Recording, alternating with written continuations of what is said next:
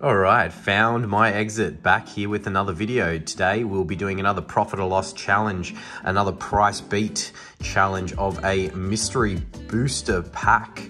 So this time this mystery pack is from Unlisted Leaf. Now, arguably the biggest uh, Pokemon streamer in the world, I would say by subs. I believe he is the biggest Pokemon streamer in the world, um, and he is a fellow Australian. So, very proud to open um, the Unlisted Leaf mystery booster packs.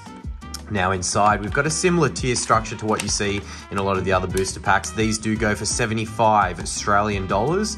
Um, and these are the tiers, right? So we've got the green tier, which is your minimum guarantee, which is just a sword and shield pack. Um, you have a one in five chance of an XY or a sun and moon era, a you know one in 10 chance of a black and white era and a 1 in 25 chance of a WotC era. So everything pre Ruby and Sapphire would fall into WotC. Um, and black and white, XY, Sun and Moon. So I wonder if you, you have a chance of getting um, those Gap series, you know, the EX series, the ones that were between Black and White and WotC, I'm not too sure. Um, this is actually the first time opening one of these packs. So, you know, we'll jump into it for the purpose of the profit or loss challenge and see how we do.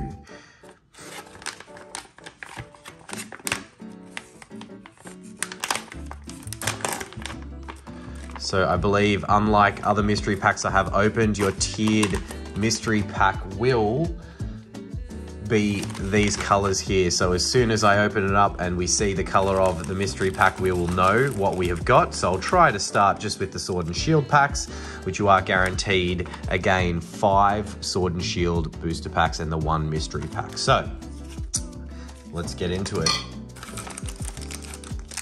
We have Fusion Strike, go ahead and uh, check what we may have pulled in Fusion Strike in one of the previous videos. I finally pulled uh, the Gengar Alt Art, spoiler alert, Vivid Voltage, Fusion Strike, Darkness Ablaze,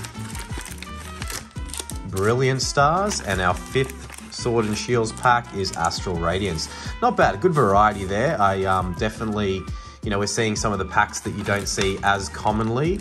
Now we will see the tier of the mystery pack and it is green so it's just the minimum guarantee there. We'll just pop that one up there even though there's nothing too special in it and we'll pop this to the side. So $75 in the negative as of now. We've got all these packs to open. We'll see how we go. Uh, in preference order I think I'll somewhat be like this. So I'll just stack them up here and we'll start with the Astral Radiance. So wish us luck. We'll keep the tally going up in the corner here to see how we're tracking.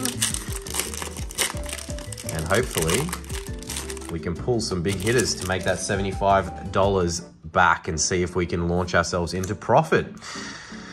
All right, so all sword and shield. So we'll be doing the pack trick of four cards to the back.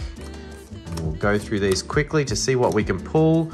We have a Radiant in our first pack, so not bad. Of probably still just a couple of dollars, but it will help towards that total. So we'll pop that over to the side. We'll pop our bulk over here and we'll jump into Fusion. Now, can we continue our Fusion luck with, as I mentioned, from uh, one of our other profit or loss challenges? Go check that video out if you haven't seen it. Um, we were able to pull the Gengar alt art. So I was very happy with that. I've been chasing that card for quite some time. And we have a non-holo rare. The big old Genghis Khan there. So moving into Darkness Ablaze. Now, can we pull that big Charizard from this set? Um, I do have it, but I haven't personally pulled it. I did buy it. Alright, same pack trick jump through this and see how we're doing for the profit or loss. Do tell me in the comments if you think that we're due to profit or whether we're going to need a lot of luck. So we've got a V card there. The Grimmsnarl, not too bad a hit, but still probably only a couple of dollars, three or four dollars if we're lucky. Um, but we'll throw it up and add it to the total. So the total will just be going, you know, hollows and up, I think, for the price beat challenges. It's just easier than trying to tally every reverse and every other card. in the set. So now we are moving on to the Vivid Voltage. Can we get that Chonkachu? Um, I have pulled the um, Rainbow, but that was quite some time ago.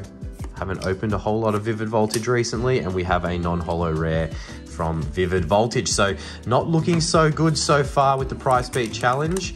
We're going into Brilliant Stars. If we are able to pull that Rainbow Zard, that Alt Art Charizard, we will launch ourselves definitely into Profit Town, um, and hopefully we can do so. So let's go Pack Trick forward to the front, and away we go.